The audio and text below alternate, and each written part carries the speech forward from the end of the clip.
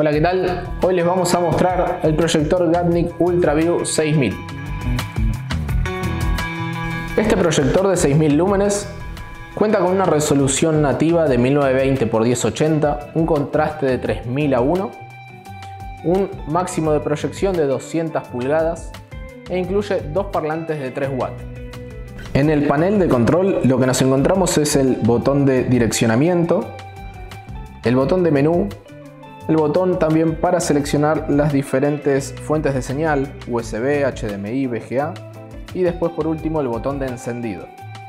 Lo que encontramos en la parte trasera de este proyector tenemos el ajuste de la distorsión, la entrada para el cable de corriente, el botón de encendido y apagado, dos puertos USB, dos puertos HDMI, lo que sería entrada de video y de audio y por último una entrada VGA.